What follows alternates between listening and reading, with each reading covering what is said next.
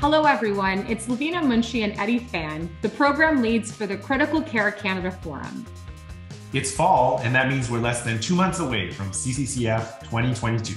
Laveena and I are very excited about the lineup this year, from the latest on ARDS, ECLS, mechanical ventilation, and sepsis management. To reflections on the pandemic and hot off the press presentations on the latest groundbreaking trials in critical care.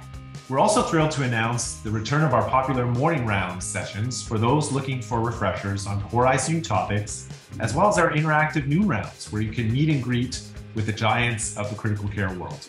Among the truly outstanding keynote speakers slated to appear, we are especially excited to hear from our colleague, Dr. Deborah Cook, who was awarded the prestigious Canada Wightman Gairdner Award earlier this year for her pioneering research that has developed and defined evidence based critical care medicine across the world.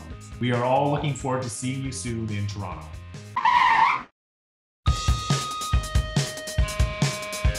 That's right, everyone. This year's CCCF welcomes you all back together in person. So we can't wait to see you here in Toronto.